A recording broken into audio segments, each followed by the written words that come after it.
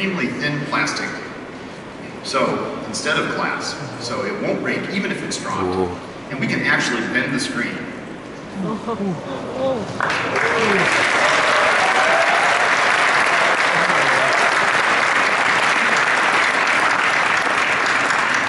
Imagine the products you could design with this. That's amazing. It really is. Brought something else here today. One more thing. Have a look at this bended Youm prototype device. Do you see how the screen curves beyond, beyond the edge of the display, around here? With this bended display, we have expanded the canvas available for content. Content can now flow along the sides of the device. So, for example, if I receive an important message, I